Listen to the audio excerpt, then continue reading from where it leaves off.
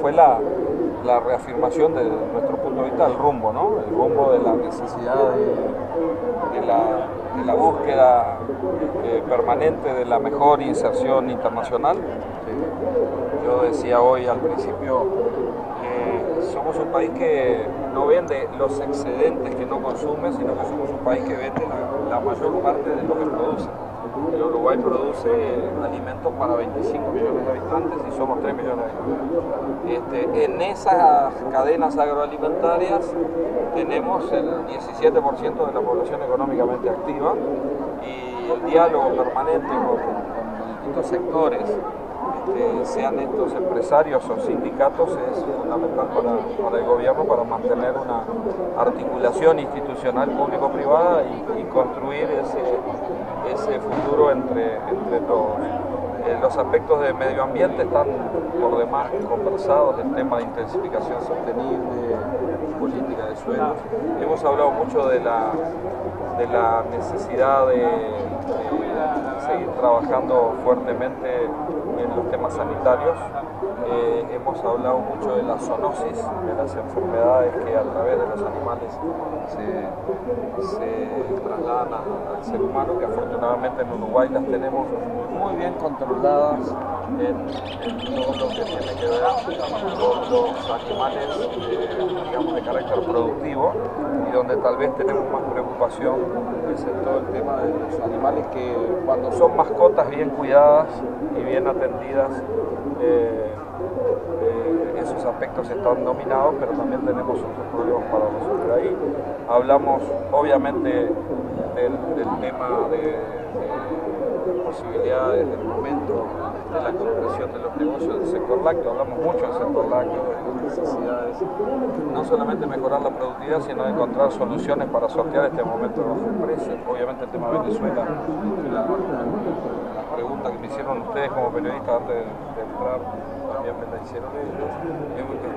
El tema del, tema tributario, el tema impositivo, el tema de la, temas vinculados a las infraestructuras, los encadenamientos productivos, la institucionalidad eh, público y público-privada agropecuaria, la necesidad de seguir articulando políticas, la importancia de llevar adelante un programa de transferencia de tecnología que, nos levante los, niveles, los niveles de producción, sobre todo para pequeños y medianos. Productores, un tema que estábamos tratando en este momento salimos a, atenderlo porque hace horas que no se tiene. Ministro, ya que usted toca el tema tributario, ¿qué valoración hace este artículo que ha sido incluido en el presupuesto nacional tendiente a eliminar esa rebaja en la contribución inmobiliaria rural que según ha dicho golpea fuertemente al sector agropecuario porque ya estaría tributando un 22% más en cuanto a la percepción de ese tributo justamente?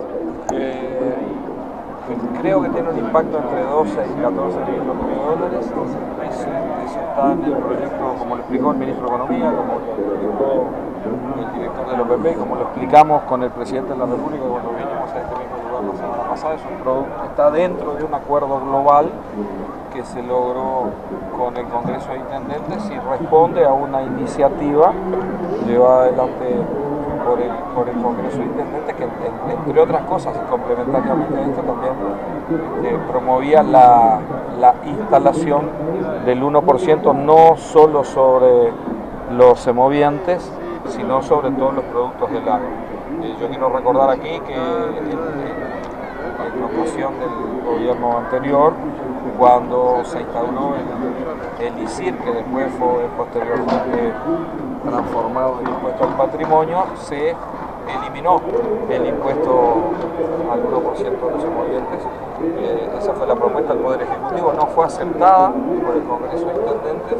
Las intendencias mantuvieron la percepción del 1% sobre los emolientes, eran algo así como 18, 20, entre 18 y 22 millones de dólares, y logramos un acuerdo con el Ministerio de Economía por el cual las intendencias cobran, pero se lo comunican al, al, Ministerio de Economía, el Ministerio de Economía a través de la DGI o del Banco de Previsión Social vierte nuevamente esos recursos de los productores. Por lo tanto, nosotros consideramos que eso este, implicaba un retroceso. Los recursos son escasos, los caminos hay que arreglarlos, eso ya lo sabemos, pero este, lo, que opinó el presidente de la República y el ministro de Economía, que yo comparto, es que en realidad eso forma parte de un acuerdo más global con, con, el, con el Congreso de Intendentes y no estuvo en la iniciativa del Poder Ejecutivo. Y bueno, ¿y ahora qué pasa? ¿Queda a manos del Parlamento la situación? Afortunadamente en este país, que es un país democrático, todas las leyes requieren la consideración y la aprobación del Parlamento. Es decir, el Parlamento ¿Ustedes no objetarían como Poder Ejecutivo que el Parlamento siguiera firme y mantuviera esa, esa cláusula de eliminar esa exoneración? El presidente de la República se manifestó en este mismo lugar de con meridiana claridad de que el Poder Ejecutivo no va a hacer objeción. Respecto a Venezuela, ¿qué, es lo que se ha avanzado concretamente o qué es lo que se está esperando? Sí, bueno, este, este, creo que en el día de hoy o en el día de mañana, viajaron hoy de mañana, se estaría firmando la última, la última etapa de este proceso que culmina con un acuerdo de ANCAP y PDVSA. La ley en Uruguay ya fue votada, los recursos para que ANCAP cancele en forma anticipada esa deuda que con las quitas quedó en 267 millones de dólares y el acuerdo implica la constitución de un fideicomiso financiero que de alguna forma actuará como respaldo o garantía de pago en las exportaciones de los distintos productos que los exportadores uruguayos ya han convenido en cantidad y precio con el gobierno de Venezuela. Ministro, se había dicho que esta administración tiene como, un gran objetivo el hecho de buscar mercados que eh, posibilita el ingreso de mercaderías de nuestro país pagando menos cantidad arancelaria que en otros. ¿Se está trabajando en ese tema? ¿Se está avanzando en buscar eh, mercados con menos niveles arancelarios de los ya tradicionales que porta Uruguay? Eh, en primer lugar, lo, primero que tiene que, lograrse para acceder a un mercado es el acceso sanitario. De lo arancelario se discute después de haber alcanzado lo sanitario. Uruguay es un ejemplo paradigmático, exitoso, en materia de apertura de mercados, tanto en carne como en lácteos, como en productos vegetales. Este, esa es una de las políticas más importantes de inserción internacional en la que participa activamente el Ministerio de Ganadería en el marco de las actividades que desarrolla la Cancillería y el gobierno todo. Una vez logrado el acceso sanitario, a los mercados se accede pagando más arancel o menos arancel. Eh, no podemos hacernos los distraídos, el mercado de productos alimenticios en el mundo es uno de los mercados más distorsionados. Si no fuera así, la OMC no hubiera patinado como patinó cuando llegó a la etapa de discusión de los temas agropecuarios. Por lo tanto, eso es fácil de decir y difícil de hacer, pero está dentro de los objetivos estratégicos del gobierno, dentro de los mercados que tenemos habilitados sanitariamente, trabajar mediante acuerdos bilaterales, mediante cualquier tipo que esté dentro de, los, de acuerdo, que esté dentro de lo posible, para que nuestros productos paguen menos impuestos de importación. Pero más aún, cuando esto haya sido logrado con éxito, eh, los problemas de acceso a los mercados van a estar en los problemas pararancelarios.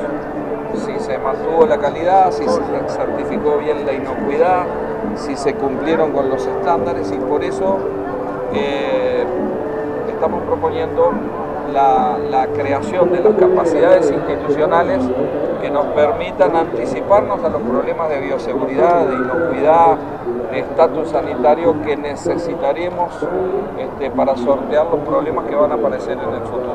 Uruguay tiene que, que jugar adelantado en este tema. Uruguay es un país que tiene que jugar con una lógica de vender calidad, de vender diferenciación, de vender certificación. Dice un eslogan del Instituto Nacional de Carne, envasamos naturaleza y vendemos confianza. Todo eso requiere de capacidades institucionales que no son solamente, capacidades institucionales públicas. El Uruguay es muy rico en la institucionalidad público-privada agropecuaria que ha desarrollado. No son comunes en el, en el mundo ejemplos donde los temas de la carne o los temas de la investigación o los temas de la leche o los temas de la semilla eh, este, o los temas de la transferencia de tecnología se discutan en ámbitos o en mesas o en juntas directivas que tienen participación los representantes del gobierno y los representantes del sector privado, sean estos agropecuarios o, industriales. Y esa rica institucionalidad, a mi juicio, esto es opinable, pero a mi juicio, tiene mucho que ver con, esa consideración que el Uruguay tiene en el mundo y que nos permite, en el mismo contexto externo, con la misma caída de precios, con las mismas dificultades este, que pueden tener otros competidores, acceder a algunos mercados donde nuestros competidores no acceden. Esa ventaja competitiva no es una ventaja producto de la investigación o de la innovación desde el punto de vista científico-tecnológico, pero sí es una ventaja producto de la innovación institucional. Y eso se construye con diálogo, que es lo que hemos estado haciendo, este, hacemos permanentemente con las distintas gremiales agropecuarias, pero que en el día de hoy hemos hecho durante más de dos horas con la gente de la asociación.